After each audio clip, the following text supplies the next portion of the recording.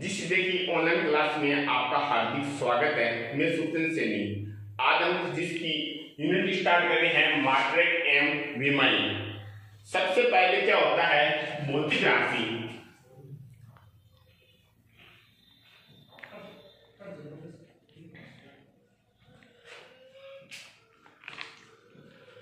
भौतिक राशियाँ। भौतिक राशि क्या होती है, किसी भी भौतिक राशि जिसमें नापा या तोला जाता है, उसे हम क्या कहते हैं? भौतिक राशि कहते हैं। भौतिक राशि में क्या होता है?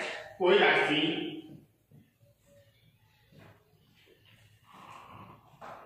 राशि जिसे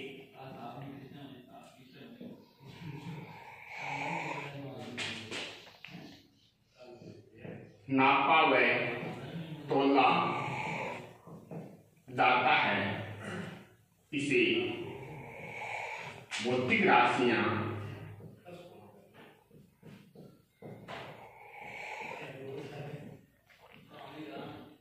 राशियाँ कहते हैं। अगर हम भौतिक राशियाँ की उदाहरण की बात करें तो उदाहरण अपना द्रव्यमान, लंबाई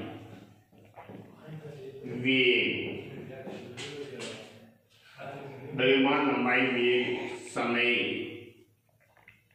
त्वरण मैंने क्या बताया, भौतिक राशियाँ, कोई राशि जिसे नापा व तोला जाता है, इसे हम क्या कहते हैं? भौतिक राशियाँ कहते हैं। भौतिक राशि की तो एग्जांपल होता है, वो होता है द्रव्यमान लंबाई, वेग, समय, त्वरण इत्यादि।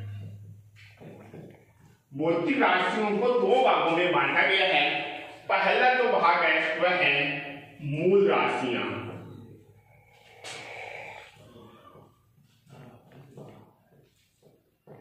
मूल राशियाँ होती क्या है? वो जो मूल राशियाँ हैं वह क्या होता है? तो किसी अन्य राशि पर निर्भर नहीं करती है, वो कौन सी राशि होती है? मूल राशि। भौतिक विज्ञान की वह राशि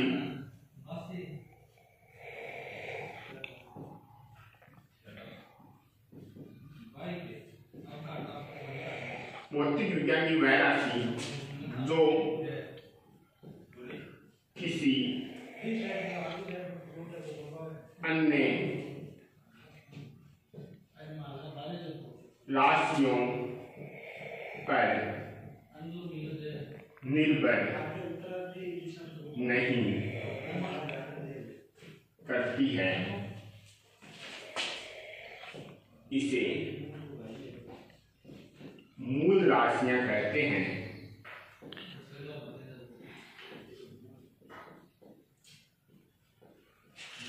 क्या है मूल राशियाँ भौतिक विज्ञान की वह वह जो किसी अन्य राशियों पर निर्भर नहीं करती है, वो क्या होती है? मूल राशियाँ होती है। मूल राशियों के जो तो उदाहरण है, वो होता है द्रव्यमान लंबाई, समय। द्रव्यमान हमेशा किसी अन्य राशि पर निर्भर नहीं करता है, इसलिए हमेशा ये क्या होती है? मूल राशि होती है। लंबाई किसी अन्य राशियों पर निर्भर नहीं करती है, इसलिए हमेशा ये क्या होती है? मूल राशि होती है। तो दूसरा टाइप का भौतिक राशि का वह होता है व्युत्पन्न राशियाँ। व्युत्पन्न राशियाँ भौतिक विज्ञान में क्या होता है? मूल राशियों पर निर्भर करता है, इसलिए इसे क्या कहते हैं? व्युत्पन्न राशियाँ मूल राशियों पर निर्भर करती है।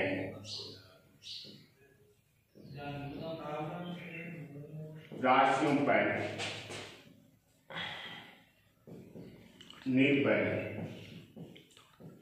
करती है इसे व्युत्पन्न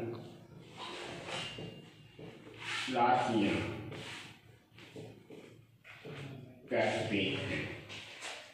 व्युत्पन्न राशियाँ क्या होती है? ये किस पर निर्भर करती है? मूल राशियों पर निर्भर करती है। इसलिए इसे क्या कहते हैं? व्युत्पन्न राशियाँ कहते हैं। व्युत्पन्न राशियों का उदाहरण है, वह है वेग, तवरण इत्यादि। वेग होता है, वेग का सूत्र होता है विस्थापन बटा समय। ये दो राशियों पर निर्भर करती है। जो विस्थापन है, वो क्या होता है? मूल राशि होती है। और जो समय होता है, वो होती है मूल राशि। इसलिए वेग को किसमें? व्युत्पन्न राशियों में लिखा गया है। व्युत्पन्न राशि किस पर निर्भर करती है? मूल राशियों पर निर्भर करती है। उसके बाद में अपना टॉपिक आता है। अगला टॉपिक अपना मात्रक पद्धति। भौतिक विज्ञान में तीन प्रकार की मात्रक पद्धति होती है। सबसे पहले पद्धति है सी जी एस दूसरी पद्धति है एम के एस और जो तीसरी पद्धति है, वह है फुट पाउंड सेकेंड वो मात्रक पद्धति में तीन प्रकार की मात्रक पद्धति होती है। पहला है सी जी एस दूसरी मात्रक पद्धति है एम के एस और जो तीसरी है, वह है फुट पाउंड सेकेंड सीजीएस मात्रा में क्या होता है? ग्राम। सीजीएस में होता है सेंटीमीटर, ग्राम, सेकेंड। जो एमकेएस पद्धति है वो होता है मीटर, केजी, सेकेंड। जो एफ़ पी एस पद्धति है उसे हम कहते हैं फुट पाउंड सेकेंड हम बात कर हैं सबसे पहले सीजीएस पद्धति। सीजीएस पद्धति में क्या होता है? द्रव्यमान को ग्राम में नापा जाता है। जो हमारे पास लंबाई है, उसे हम सेंटीमीटर में नापेंगे। और जो हमारे पास समय है, उसे हम सेकंड में नापा जाता है। सीजीएस पद्धति में जो द्रव्यमान है, उसे हम ग्राम में नापा जाता है। और जो हमारे पास दूरी है, इसे हम सेंटीमीटर में नापते हैं। और जो समय है, उसे हम सेकंड में नापते हैं। ये हमारी कौन सी पद्धति है? सीजीएस पद्धति। दूसरी पद्धति है हमारे पास एमकेएस पद्धति। एमकेएस पद्धति में जो हमारे पास द्रव्यमान है, उसे हम केजी में नापते हैं। जो मेरे पास जो दूरी है, उसे हम मीटर में नापते हैं। जो मेरे पास समय है, उसे हम सेकंड में नापते हैं। तीसरी पद्धति है फुट पाउंड सेकेंड हमारे पास जो द्रव्यमान है, हम उसे पाउंड में नापते हैं। मेरे पास जो दूरी है, वह हम फुट में नापते हैं। जो मेरे पास समय है, हम उसे सेकंड में नापते हैं। ये तीन प्रकार की पद्धति है सीजीएस पद्धति एमकेएस पद्धति एफपीएस पद्धति हम बात करें अगला टॉपिक की एसआई मात्रा। एसआई मात्रक में क्या होता है? यह एक एमपीएस पद्धति का संशोधित रूप है। इसमें सन 1960 में इसमें हम अंतरराष्ट्रीय अंतरराष्ट्रीय मात्रक पद्धति भी कहते हैं। एसआई मात्रक में होता क्या है? एसआई मात्रक एमकेएस पद्धति का एक संशोधित रूप है। इसे हम 1960 में अंतरराष्ट्रीय अंतरराष्ट्रीय मात्रक पद्धति होती है। एसआई मात्रक में सात तो होती हैं। मूल मात्रक वह दो होते हैं पूरक मात्रक एसआई पद्धति में कितने होते हैं, मूल मात्रक सात होते हैं, जो पूरक मात्रक होते हैं, वो दो होते हैं। सबसे पहले हमने बात कर रहा हूँ मूल मात्रक की। कौन से सात मूल मात्रक होते हैं, उसकी बात करूँगा। सात मूल मात्रक में उसका क्या है?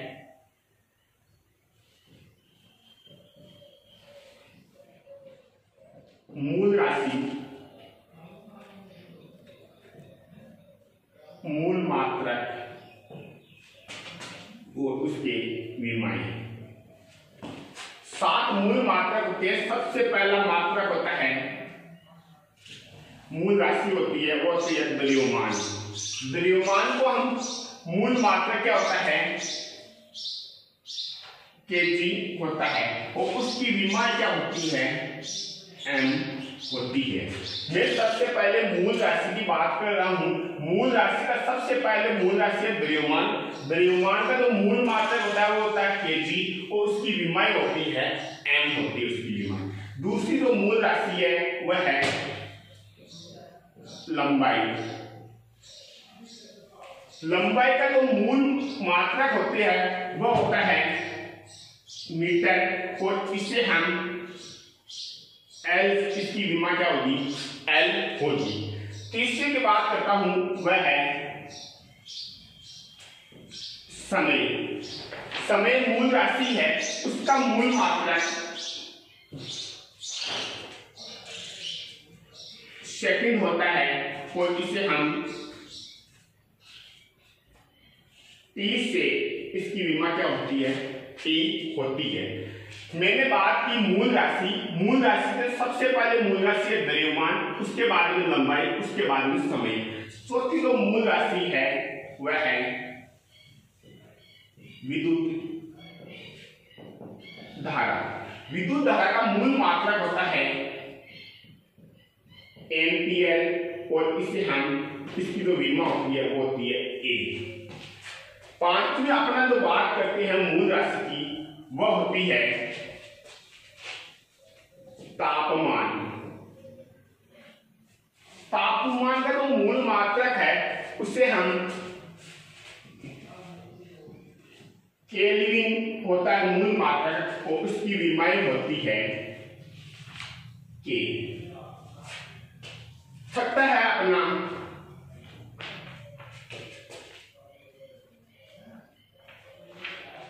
पन तीव्रता इसका जो तो मूल मात्रक होता है, वो होता है कंडेला। इसे हम, इसकी जो विमा होती है, वो होती है सी डी जो अपना सातवां मूल मात्रक है, वो होता है पदार्थ की मात्रा। जो इसका मूल मात्रक होता है, वो होता है मोल। जो इसकी विमा होती है, वो होती है मोल। मैंने क्या किया? मूल मात्रक के बारे में बताया था। मूल मात्रक ऐसा ही पद्धति में सात प्रकार के होते हैं। सबसे पहले मूल राशि की बात की, द्रव्यमान की। उसका मूल मात्रक होता है केजी उसकी विमाई होती है एम दूसरा है लंबाई। लंबाई का जो मूल मात्रक होता है, उसका होता है मीटर, उसकी विमाई होती है एल तीसरा होता है समय। मूल मात्रक होता है सेकंड, उसकी विमाई होती है टी है। चौथे की बात की, मैं मूल राशि की वो होती है विद्युत धारा जो मूल मात्रक होता है उसका होता है एम्पियर विमाई होती है उसकी ए पांचवा अपना तापमान की बात की, उसका मूल मात्रक होता है केल्विन, उसकी विमाई होती है के छठा है अपना प्रतिबंध तीव्रता, इसका जो मूल मात्रक होता है वो कंडेला होता है, इसका जो विमाई होती है वो सी डी होती है। और जो अपना सातवां वो पदार्थ की मात्रा, उसका मूल मात्रक होता है मोल, और इसकी विमाई होती है मोल। ऐसा पद्धति में सात मूल मात्रक की बात कर ली, अपने पास दो पूरक मात्रक है। दो पूरक मात्रक क्या है? दूसरा है पूरक मात्रक। ऐसा पद्धति में कितने होते हैं? दो पूरक मात्रक होते हैं। सबसे पहले हैं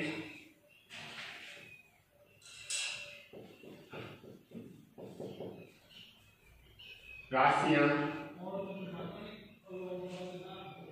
मात्रक विमय सबसे पहले जो पूरक मात्रक होता है, वो होता है समकोण। समकोण का जो तो मात्रक होता है, वो होता है थीटा।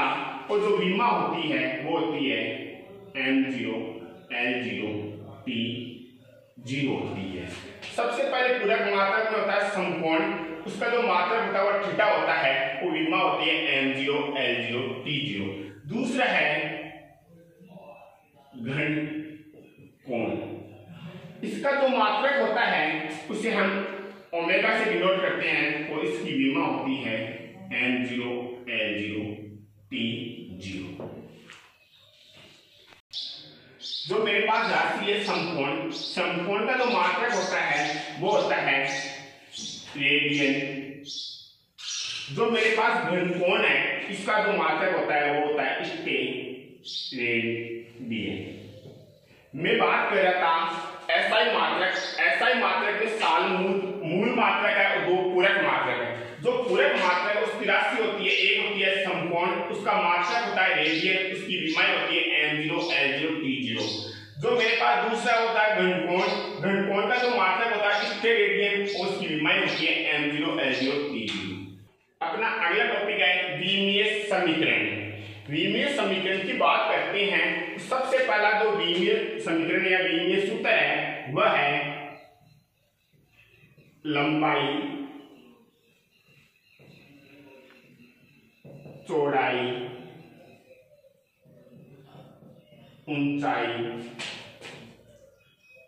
दूरी विस्थापन इसका जो विमा होती है, लंबाई, चौड़ाई, ऊंचाई, दूरी और विस्थापन, इसकी हमेशा विमा क्या होगी? वो होगी एल होगी। इसकी लंबाई, चौड़ाई, ऊंचाई, दूरी, विस्थापन। इसकी जो विमा होती है, वो कितनी होती है? एल होगी। जो मेरे पास दूसरा जो है, वह है क्षेत्रफल। क्षेत्रफल का जो सूत्र होता है, वो होता है लंबाई इंटू चौड़ाई। क्षेत्रफल का सूत्र होता है लंबाई इंटू चौड़ाई। लंबाई का जो मीन सूत्र होता है, वो होता है एल चौड़ाई का कितना होता है? एल तो मेरे पास एल इंटू एल कितना हुआ? एल स्क्वायर हुआ। इसकी विमा क्षेत्रफल की विमा कितनी होती है? एल स्क्वायर तीसरा है मेरे पास आयतन। आयतन का सूत्र होता है लंबाई इंटू चौड़ाई इंटू ऊंचाई।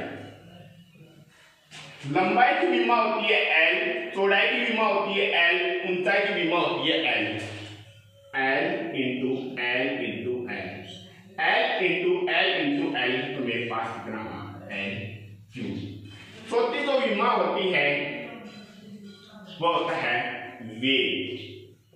वेग का सूत्र होता है विस्थापन बटा समय। विस्थापन की जो विमा होती है, वो होती है एल और मेरे पास समय है, वह है टी वेग का सूत्र होता है विस्थापन बटा समय, विस्थापन का जो विमा होती है एल होती है, और समय की जो होता है वो होती है टी होती है। तो मैं क्या करूँगा? L T minus one T को ऊपर लेकर गया तो एल टी माइनस वन ये होती है वेग का विमेय सूत्र। पांचवा अपना सौरण सौरण का सूत्र होता है वेग बटा समय। वेग बटा समय वेग क्या है यहाँ पर, मेरे पास विमेय सूत्र वेग का विमेय सूत्र होता है। एल टी माइनस वन और जो समय है, वो होता है टी जब मैं इस टी को ऊपर लेकर जाऊँगा तो मेरे पास जो बीमीय राशि बनी, वो होती है एल टी माइनस टू पाँच प्रकार के बीमीय समीकरण छठा अपना बात करते हैं। बल की एकदम की दृष्टि से बल इंपॉर्टेंट है यहाँ पर बीमीय सूत्र बल का सूत्र होता है F बराबर एम ए एम यहाँ पर द्रव्यमान है ए यहाँ पर त्वरण है। एफ़ बराबर एम ए मैं क्या करूँगा? जो मेरे पास विमा है, बल की एम तो एम है, और मेरे पास एक त्वरण है, उसकी विमा है एल टी माइनस टू है। तो मेरे पास विमीय समीकरण बना। M L T minus two जो बल है, उसका जो विमीय जो मेरे पास समीकरण वो सूत्र है, वह है एफ़ बराबर एम इन एफ़ का जो एम का तो मेरे पास क्या होता है? एम होता है एक तौरण है तो मेरे पास इसकी विमा होती है एल टी माइनस टू तो मेरे पास विमीय समीकरण बना एफ़ बराबर एम एल माइनस टू इस समीकरण को क्या करूँगा? बल्कि है M L T minus two इस समीकरण को मैं दो पद्धति में बांटूँगा एक तो है एमपीएस पद्धति, एक है सीजीएस पद्धति। एमपीएस पद्धति में इसका मात्रक होता है एम को तो किससे दर्शाते हैं? द्रव्यमान को तो केजी में। एम यहाँ पर लंबाई है, लंबाई को किस में दर्शाते हैं एमपीएस पद्धति मीटर में और टी माइनस टू जो समय है उसके हम सेकेंड स्क्वायर लिख सकते हैं। मैंने क्या किया तो मेरे पास बल का लीनियर सूत्र है, उसको मैंने दो भागों में बांटा गया, दो पद्धति में बांटा गया। सबसे पहले पद्धति है एमकेएस पद्धति, उसके बाद में सीजीएस पद्धति। एमकेएस पद्धति में तो मेरे पास जो द्रव्यमान एम है, उसको हम क्या लिखूँगा? के जी जो मेरे पास, जो मेरे पास लेंथ है, उसको मैं क्या लिखूँगा? मीटर में और जो टी माइनस जो मेरे पास समय है, वह है सेकंड में लिखूँगा। तो मैं क्या करूँगा? KG into metre upon second square को क्या लिख सकता हूँ मैं, एक न्यूटन लिख सकता हूँ। या क्या न्यूटन लिख सकता हूँ। KG into metre upon second square को क्या लिखूँगा, न्यूटन लिखूँगा, और मैं बात कर रहा हूँ दूसरा सीजीएस पद्धति में। पद्धति में मेरे पास मीटर को किस, किसको, द्रव्यमान को किस लिखूँगा मैं? ग्राम में और जो मेरे पास लेंथ है, उसको मैं किसमें लिखूँगा? सेंटीमीटर में। और समय कितना है? सेकंड स्क्वायर है। मैंने क्या किया? सीधे पद्धति में क्या किया? जो मेरे पास द्रव्यमान, उसे तो मैं ग्राम में, और मेरे पास जो जी है, जो मेरे पास एल है, उसको मैं किसमें लिखूँगा? सेंटीमीटर मेरे पास जो टी है, उसको मैं लिखूँगा सेकंड सेकंड स्क्वायर में। जो मेरे पास जो gram into centimetre upon second square उसको मैं क्या लिखूँगा? डाइन लिखूँगा। किसमें? डाइन लिखूँगा। एग्ज़ाम में क्वेश्चन आया था एक न्यूटन बराबर दस की पावर पाँच डाइन अपना क्वेश्चन आया था एक न्यूटन बराबर दस की पावर पाँच डाइन मैं इससे क्या करूँगा? लीनियर समीकरण के सूत्र से हम ज्ञात करूँगा। एक न्यूटन एक न्यूटन। मैंने न्यूटन को हमें क्या बताया था? न्यूटन का मान कितना होता है? के जी into metre upon K G into metre upon second square मुझे ज्ञात करना एक न्यूटन बराबर दस की पावर पाँच डाइन तो एक न्यूटन को मैंने क्या लिखा? K G into metre upon second square यहाँ से देखना। जब मैं के जी को ग्राम में कन्वर्ट करूँगा तो मैं इस प्रकार लिखूँगा, हज़ार ग्राम इंटू मीटर को मैं सेंटीमीटर में चेंज करूँगा तो मेरे पास क्या आएगा? सौ सेंटीमीटर। अपॉन सेकंड स्क्वायर को क्या लिखूँगा, सेकेंड स्क्वायर लिखूँगा। मैंने क्या किया? केजी को ग्राम में कन्वर्ट किया, मीटर को सेंटीमीटर में कन्वर्ट किया। तो मेरे पास यहाँ पर क्या राशि आई? हज़ार इंटू सौ तो मेरे पास क्या राशि बची? Gram into centimetre upon second square. मैंने बताया था gram into centimetre upon second square. कितना होता है? डाइन होता है। तो एक न्यूटन बराबर तीन दस की पावर पाँच। इसको मैं की पावर पाँच लिखा हूँ। और जो gram into centimetre upon second square इसको मैं क्या लिखूँगा? डाइन लिखूँगा।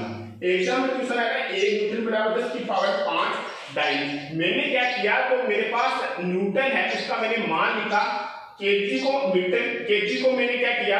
ग्राम में, मीटर को मैंने क्या किया? ग्राम में सेंटीमीटर चेंज किया इस मान को मैंने क्या किया?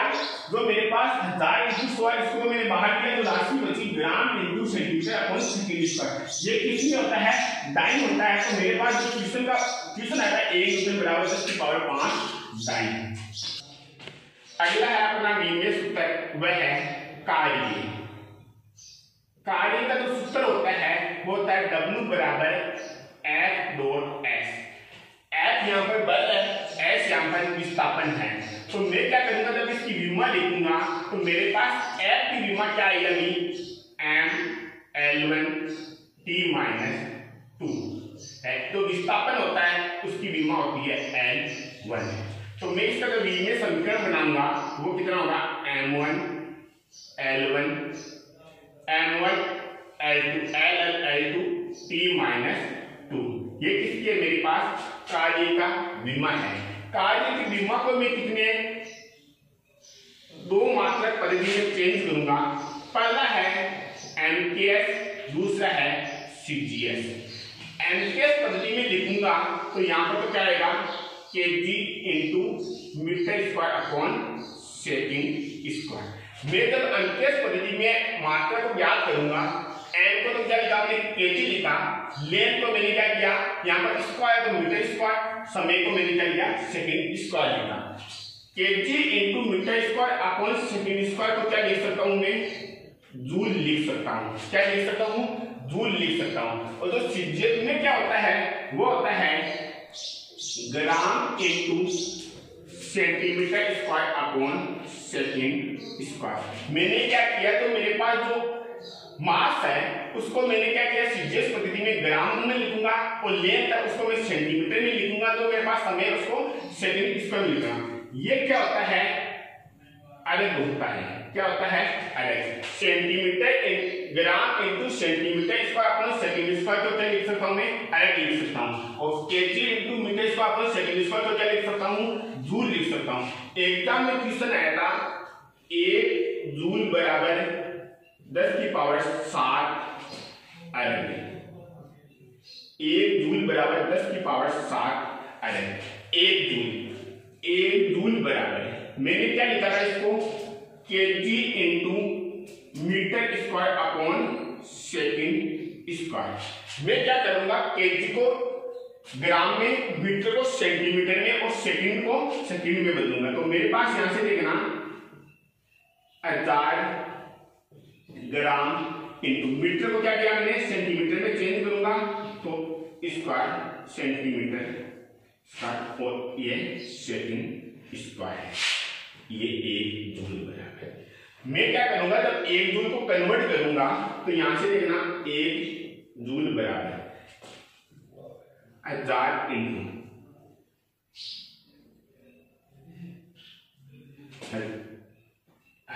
ये कितना बता यहाँ पर? Gram into centimetre square upon second square यहाँ से देखना मैं इसको टेन की पावर सेवन लिख सकता हूँ। चार और तीन सेवन हो गए। तो मैं क्या करूँगा? एक जूल बराबर दस की power seven gram into centimetre upon second square तो मैंने क्या लिखा? अलग लिखा। तो मेरे पास क्या आया? एक जूल बराबर दस की पावर सात अलग मैंने क्या किया सेंटीमीटर ग्राम इंटू सेंटीमीटर को अपन सेकेंड स्क्वायर को मैंने क्या किया अलग ले था? एग्ज़ाम में क्वेश्चन आया था प्रूव डेट एक जूल बराबर टेन की पावर सेवन अलग ये हमें सिद्ध करना था। आगे की बात करें हम, कार्य की बीमा इंपॉर्टेंट है और हमारे पास जो बल की बीमा है, वो सबसे ज़्यादा इंपॉर्टेंट इन दो बीमाओं से हम कई प्रकार के बीमीय सूत्र बना सकते हैं। मैं आगे की बीमीय सूत्र की बात करूँ तो मेरे पास है आठवां है मेरे पास, वह है पलांग नीतांग पलांग नीतांग को मैं किससे डिनोट करता हूँ? एस से डिनोट करता हूँ। पलांग नीतांग का जो मान होता है, वो होता है एच बराबर eight point six seven into ten की पावर माइनस सत्ताईस। एट पॉइंट इंटू टेन की पावर माइनस सत्ताईस यहाँ पर मेरे पास क्या है? जूल इंटू समय।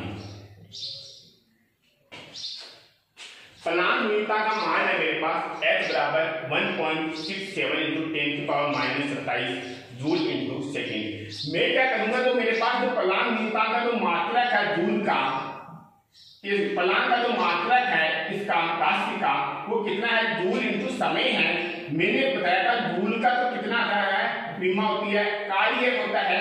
किस प्रकार होता है? K G into metre square upon second square. ये किसका होता है? कार्य का होता है। और मेरे पास क्या है? समय है। जब मैं कार्य की बीमा याद करूँगा तो मेरे पास कार्य की बीमा भी मैंने याद की थी एम वन एम वन यहाँ से देखना M one L two T minus two और जो मेरे पास समय है, वह है टी वन तो मैं क्या याद कर सकता हूँ? M one L two T minus T minus one ये किसका है पलांक नियतांक के विमीय सूत्र है। अगला है अपना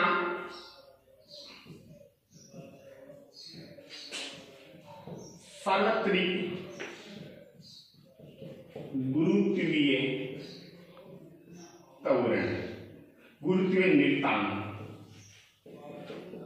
इसे हम प्रदर्शित करते हैं जी से। सावती गुरुत्वीय नियतांक का हम एक फॉर्मूला क्या करते हैं एफ़ बराबर G M one M two upon R square G यहाँ पर क्या है? सावर्ती गुरुत्व नियतांक है तो मैं जी का मान ज्ञात करूँगा तो F into R square upon M one M two मैं क्या करूँगा? एफ़ यहाँ पर बल है आर यहाँ पर लेंथ है एम क्या है? यहाँ पर द्रव्यमान है। तो मेरे पास देखना एफ़ की बीमा क्या होती है? M one L one T minus two और आर की बीमा है मेरे पास यहाँ पर एल स्क्वायर और मेरे पास एम यहाँ पर क्या हो गया? एम स्क्वायर हो गया। एकम से एकम यहाँ पर कैंसिल है तो मेरे पास जो बचा, वह है M minus one L Q T minus two. ये किसकी बीमा होती है साउथीय गुरुत्वीय नियतांक की आगे आगे की बात हम, वह हम आगे की बीमा की बात करें, वह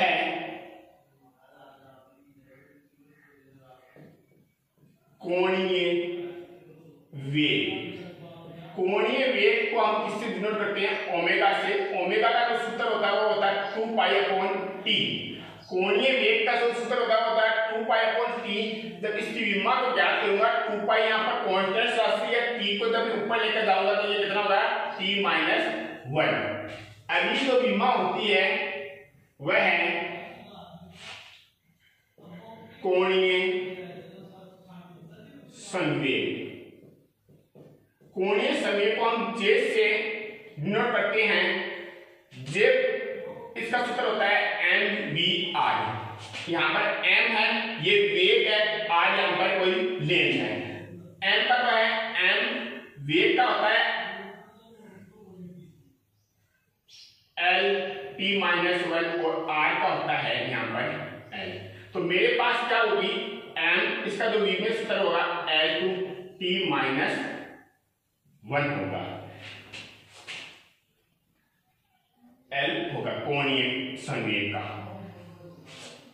ये किसके बराबर होगी? कोणीय संवेग को पल, पलान नियतांक की राशि हमेशा बराबर होता है उसका वी में बराबर किसके होगा? पलान नियतांक की। एग्ज़ाम में क्वेश्चन आया था वह कौन सी राशि है जिसकी विमा समान होती है? ऑप्शन में आया था कोणीय संवेग व पलांग नियतांक इन दोनों की राशि हमेशा विमीय सूत्र हमेशा बराबर होता है, इसलिए इसका m1 L2 t minus one है। अगली हम बात करें, वह है गतिज ऊर्जा। गतिज ऊर्जा का जो फॉर्मूला होता है, वो होता है काइनेटिक एनर्जी एक बटा दो एम वी स्क्वायर एम यहाँ पर द्रव्यमान है वी यहाँ पर वेग है। एक बटा दो यहाँ पर क्या है? कॉन्स्टेंट राशि है तो एम का तो एम और वी का क्या होगा? एल टी माइनस वन इसका स्क्वायर जब मैं इसको सोल्व करूँगा तो मेरे पास आएगा M L two T minus two ये किसका है? गतिज ऊर्जा का. गतिज ऊर्जा है M L two T minus two इसका जो विमीय सूत्र होता है, वह हमेशा कार्य की विमा की समान होता है. विमा के समान. मैंने बताया गतिज ऊर्जा गतिज ऊर्जा का फॉर्मूला होता है काइनेटिक एनर्जी बराबर एक बटा दो एम वी स्क्वायर यहाँ पर एक बटा दो नियतांक राशि है. एम का तो एम वी का वेग का है, जो वी में सूत्र होता है, वो आता है L T minus two square तो स्क्वायर जो मेरे पास जो गतिज ऊर्जा का वी में सूत्र आता है, वो किसके बराबर होता है? कार्य की विमा के समान. अगला हम विमा की बात करें. स्थिति ऊर्जा। स्थितिज ऊर्जा का जो सूत्र होता है, वो होता है एनर्जी बराबर। जो मेरे पास स्थितिज ऊर्जा है स्थितिज ऊर्जा भी कार्य की बीमा के समान होगी। गतिज ऊर्जा स्थितिज ऊर्जा और मेरे पास कार्य, इसकी बीमा हमेशा समान होती है M one L two T minus two स्थितिज ऊर्जा किसका हो गया? M L square T minus two जो मेरे पास स्थितिज ऊर्जा है, उसका फॉर्मूला होता है कोलिनेटिक energy M G H M यहाँ पर द्रव्यमान है जी क्या है? गुरुत्वीय त्वरण एच क्या है? यहाँ पर कोई लंबाई है. तो मेरे पास यहाँ पर देखना एम मेरे पास त्वरण और गुरुत्व त्वरण की विमा हमेशा समान होती है तो मेरे पास यहाँ पर क्या आएगा? एल टी माइनस टू यहाँ पर क्या आएगा? एल आएगा. तो मेरे पास M L two P minus two ये किसकी है? स्थिर ऊर्जा का है। एकदम क्वेश्चन आएगा वह कौन सी विमा है जहाँ पर गति ऊर्जा स्थितिक ऊर्जा और कार्य विमा समान होती है? एकदम में वो क्वेश्चन आएगा स्थितिक ऊर्जा के समान कौन सी राशि होती है? तो या तो गति ऊर्जा होगी या कौन सा होगा? कार्य होगा। इसकी विमा हमेशा समान होती है। इतनी विमा होती है और भी अधिक बीमा है, लेकिन जैसे जैसे टॉपिक आगे जाएगा, उसके बाद में हम ज्ञात करते जाएँगे।